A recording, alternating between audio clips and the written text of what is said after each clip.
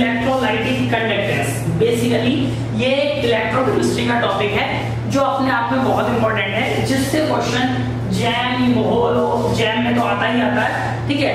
वो कभी कभी नेट और गेट में भी पूछ लिया जाता है। लेकिन इसके कॉन्सेप्ट हाँ हर एक में ज़रूरी होते हैं। चाहे वो नेट का एग्ज़ाम हो या गेट का एग्ज़ाम हो तो मैं बात करूँ, ये टॉपिक बहुत इंपॉर्टेंट है। ये टॉपिक जनरली इलेक्ट्रोकेमिस्ट्री के अंदर आता है। इलेक्ट्रोकेमिस्ट्री का ही एक पार्ट है, क्या?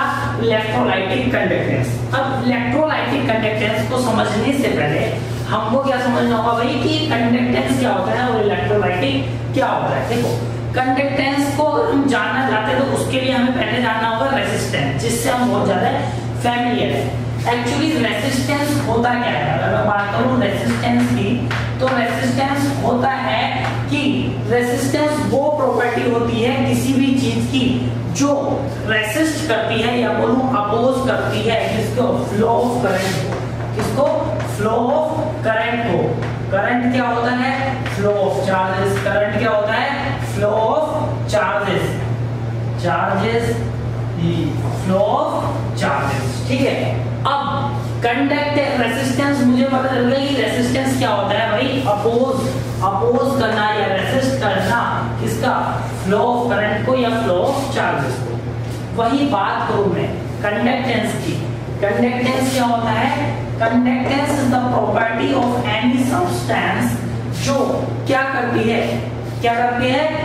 मतलब मेरे जो फ्लो ऑफ़ चार्जेस को बढ़ा देती है। क्या मतलब? क्या बोलूँ मैं? कि एक्सीड कर देती है फ्लो ऑफ़ चार्जेस या फ्लो ऑफ़ करंट को क्या बोलूँ? क्या करेगी? क्या एक्सीड कर रही मतलब just conductance is the opposite of resistance क्या है भैया? रेसिस्टेंस का अपोजिट ही है क्या? कंडक्टेंस है ठीक है? अब देखो कंडक्टेंस इलेक्ट्रोलाइटिक कंडक्टेंस क्या है? देखो, अगर मैं बात करूँ कि हमारे पास क्या होता है? करंट बेसिकली किसके फ्लो की बात कर रहे हैं हम? करंट की। और करंट क्या होता है हमारे पास? I equals to Q by T ठीक है? तो Q क्या होता है? चार्ज होता है। ठीक है? अब चार्ज का फ्लो किसके द्वारा हो सकता है? भैया, ये देखेंगे हम। उसी के बेसिस पे कंडक्टेंस हमारा क्या है? डिवाइडेड है। देखो चार्ज मेरा दो तरीके से फ्लो सकता है। दो टाइप के चार्ज कैरियर होते हैं। अगर मैं बात करूँ चार्ज कैरियर की तो दो टाइप के चार्ज कैरियर होते हैं मेरे पास। एक क्या होते हैं? फ्री इलेक्ट्रॉन्स और दूसरे क्या होते हैं मेरे पास? फ्री आयंस क्या होते हैं? फ्री आयंस ठीक है? देखो फ्री इलेक्ट्रॉन्स होते हैं और एक होते हैं मेरे पास फ्री आयंस ठीक है? अब जो मेरे फ्री आयंस की वजह से फ्री आयंस की वजह से कंडक्टेंस होता है, ठीक है? वो जनरली किसमें होता है मेरा? सॉलिड में होता है। किसमें होता है? सॉलिड में। किसमें होता है? फ्री आयंस इलेक्ट्रॉन्स की वजह से कंडक्टेंस किसमें होता है? सॉलिड में। और कौन से सॉलिड में? मेटेलिक सॉलिड में। मेटेलिक सॉलिड में, क्योंकि मेटल्स में इलेक्ट्रॉन प्रेजेंट होते हैं। और इस टाइप के कंडक्टेंस को हम मेटेलिक कंडक्टेंस भी बोलते हैं, जो जनरली हम किसमें स्टडी करते हैं? फिजिक्स के अंदर स्टडी करते हैं। दूसरे चार्ज एरिया है मेरे पास फ्री आयंस जब कंडक्टेंस फ्री आयंस की वजह से होता है, ठीक है?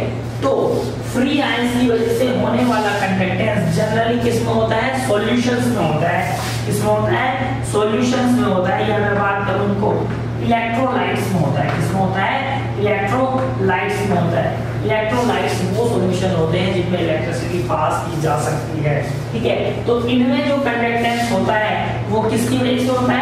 मेरा फ्री आयंस की वजह से होता है। किसकी वजह से होता है? फ्री आयंस की वजह से होता है। ठीक है? और इस टाइप के कंडक्टेंस को हम इलेक्ट्रोलाइटिक कंडक्टेंस बोलते हैं, जो कि हम इलेक्ट्रोकेमिस्ट्री के इस पार्ट इलेक्ट्रोलाइटिक कंडक्टेंस में पढ़ने वाले हैं। किसमें पढ़ने वाले हैं? इलेक्ट्रोलाइटिक कंडक्टेंस में हम पढ़ने वाले हैं। बेसिकली फ्री आयंस की वजह से होने वाले कंडक्टेंस की स्टडी हम इस चैप्टर में करने वाले लेकिन सोचो, क्या हो, अगर मेरा conductance free ions plus free electron अगर मैं इसका तीसरा पार्ट बनाऊँ कि free ions plus free electrons दोनों की वजह से तो उस टाइप के कंडक्टेंस को हम जनरली एस ब्लॉक के कंपाउंड्स में स्टडी करते थे। वो क्या होता था कि any metal in liquid ammonia क्या होता था? Na metal in liquid ammonia तो कर देता इलेक्ट्रोलाइटिक सॉल्यूशन भी होता था। तो यहाँ Na प्लस आयन भी होता था और फ्री इलेक्ट्रॉन भी होता था। क्या होता था? Na प्लस आयन भी होता था और फ्री इलेक्ट्रॉन्स भी होता था। In liquid ammonia, lithium in liquid ammonia.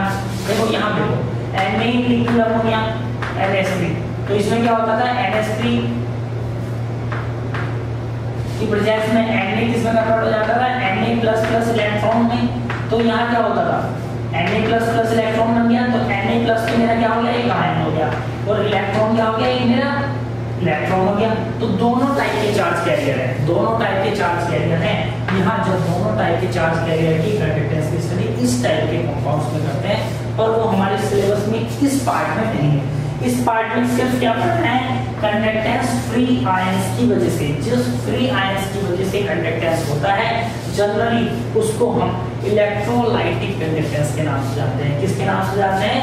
Electrolytic conductance के नाम से जानते हैं। या फिर इसका दूसरा नाम भी होता है दैट इज़ आयनिक कंडक्टेंस क्या होता है इसका दूसरा नाम?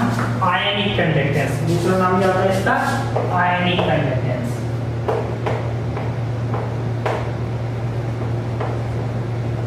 आओ अब जानते हैं कि भाई ये चैप्टर जो इलेक्ट्रोलाइटिक कंडक्टेंस है बेसिकली मैं समझा रहा था इलेक्ट्रोलाइटिक कंडक्टेंस क्या है, इसमें हम पढ़ने क्या क्या वाले हैं, ठीक है? क्या क्या हमारे सिलेबस में आने वाला है, किस तरीके से क्या क्या स्टडी करेंगे, वो सब हम जानेंगे, ठीक है? तो मैं बात करूँ, इस चैप्टर को मैं मेजरली तीन पार्ट में पढ़ूँगा, ठीक है?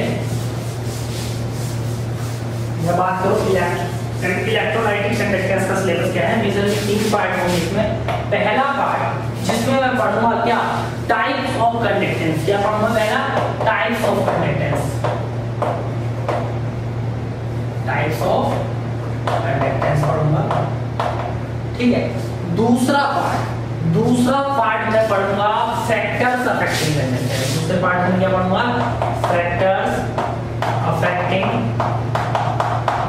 कंडक्टेंस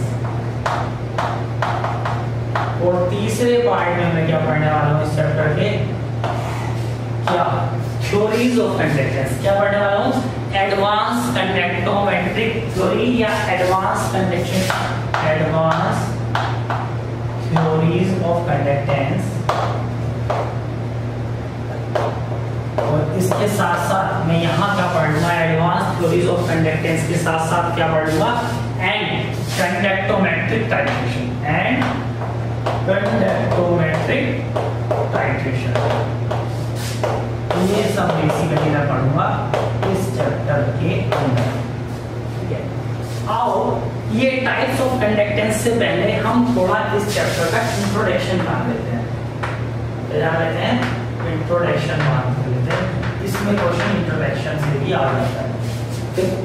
क्या होता है कि electrolytic conductance is the conductance due to the free ions की वजह से होने वाला है। अब देखो आयंस है? आयंस क्या होता है? आयंस क्या होते हैं कोई भी चार्ज स्पीसीज होती है बेसिकली आयंस क्या होती है? कोई भी चार्ज स्पीसीज होती है। ठीक है? अब बात करूँ मैं आयन की तो आयन का जनरेशन हम दो मेथड से कर सकते हैं। Ion can be generated by two methods ions can be generated by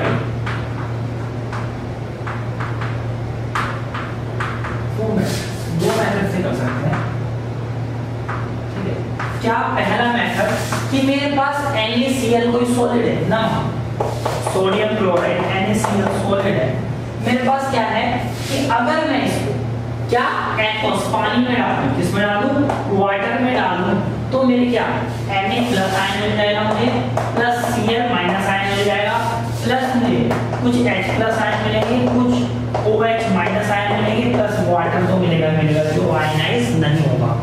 तो देखो, यहाँ मेरे पास Na plus Cl minus ion तो मिल गए पर उसके साथ साथ मुझे कुछ एक्स्ट्रा आयंस मिले, जिनको मैं क्या बोलता हूँ? फॉरेन आयंस क्या बोलता हूँ मैं?